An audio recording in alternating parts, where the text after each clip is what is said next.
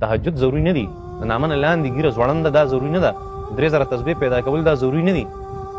ذکر اسکار کول دا ضروري نه دي بار بار حج او عمرو لتل دا ضروري نه دي بار بار ټوپونه واله ځان ته عاشق رسول ویل دا ضروري نه دي سپین ټوکی په سر راچول دا ضروري نه دي اوږدې اوږدې جامې سپینې اغوستل دا ضروري نه دي ضروري دا دي چې ستا د وجې نه یو مسلمان ته تکلیف ونه رسي بس دا انسان جنت ته رسي په قسم الله قسم تاسو ما ته قرآن او سنت کې وښایئ چېرته سپینې کپړې د انسان دې جنت ته رسولی شي او دا راغلي چې تورې کپړې به تا جهنم ته غورځي داسې هم کتلي چېرته دا څوک ښودلی شي چې په قرآن او په سنت کې چې چا ګیره